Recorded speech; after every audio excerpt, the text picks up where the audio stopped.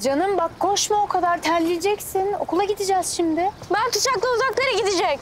Çok da uzaklara gitme bence ya. Sen benden habersiz hiçbir yere gidemezsin biliyorsun değil mi? Uçuyor Mert. Ha bu arada kadın numarayı araştırmış. Ee?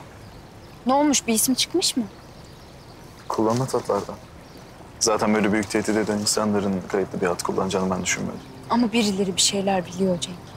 Bak o gelen fotoğraflar. Beni davadan vazgeçirme çabaları. Ya birileri kesin bir şeyler biliyor. Tuhaf bir şey dönüyor ortada. Acaba bu adam beni tekrar arar mı? Arayacak. Arayacak ben eminim. Ben çok emin olamıyorum. Ya adam seni mezarlıkta gördü. Korktu, kaçtı.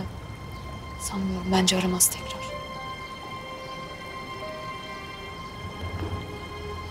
Bu ne ablacığım? Azran mı? Yarın akşam sana bildireceğim yere gel. Her şeyi anlatacağım. Babanın gerçek katilini öğreneceksin. Ne o? Mert! Mert ablacığım kim verdi sana bunu? dışarıdaki abi.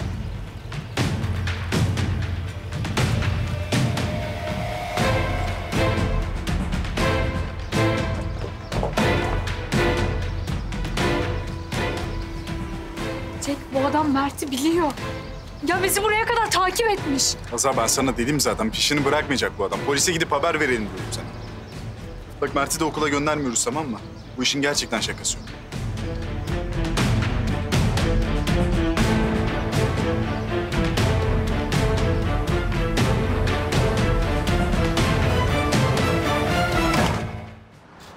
Ya bilmiyorum bu buluşma meselesi beni çok korkutuyor.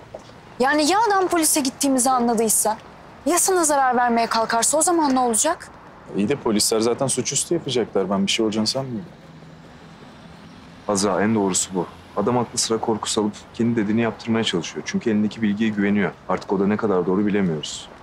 Adamın bir şeyler bildiği kesin de ben katil olduğundan emin olamıyorum. Düşünsenize insan kendini bu kadar kolay ateşe atmaz herhalde. Umarım polise gelmekle iyi yapmışızdır. Yok canım kesinlikle en iyisini yaptı. Şirkete mi geçelim? Nedir planınız? Ya Ben Azra'ya bırakayım. Sen geç geleceğim zaten. Tamamdır.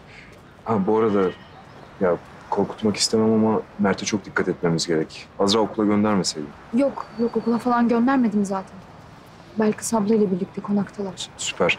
Ee, bence bu arada evdekilere de bir şey söylemeyelim. Boşuna paniklemesinler. Yok yok merak etme kimse bir şey bilmiyor. Tamam o zaman duruma göre haberleşiriz.